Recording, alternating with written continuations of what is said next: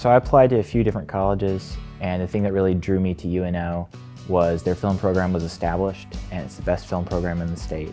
Initially, I started coming just because I wanted to use the printmaking facilities, and then, you know, discovered that there were a lot of really cool facilities in the fine arts department and that uh, there were a lot of really good teachers here. You get that sense of family at UNO, like I know everyone, everyone knows me. I'm always like, hey, hey, hey, we work together, we help each other succeed. Professors here are very interested in developing your individual journey, especially as an art student. They all want you to work and know what you're doing. Whether that's training you in class or helping you find work outside of class, you get a good idea of each department and kind of where you want to go. I mean, every question that I had, somebody had an answer.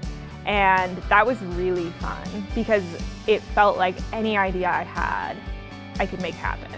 When you get into positions where you direct films, you realize how insanely collaborative the film process is. Everyone basically works on each other's sets, which is really cool because it's great for networking, learning the equipment, and just learning filmmaking in general. To actually get to do something and be a part of something and see your work like in front of everybody and everyone appreciating something that you had a hand in doing. It feels really good and it's empowering and it makes me feel like, dang, I can go out and do this in the real world as a real adult. I had support in building my CV, writing an artist statement, building a website, things that I'm really going to need when I go out into the world. There's a lot of things that I thought were impossible that I wouldn't be able to play ever that are becoming much more possible because of technique. Once I graduate, I want to submit to an agency and I feel like going to UNO, I got those tools to do that. I love the program, I love the location, I love the city.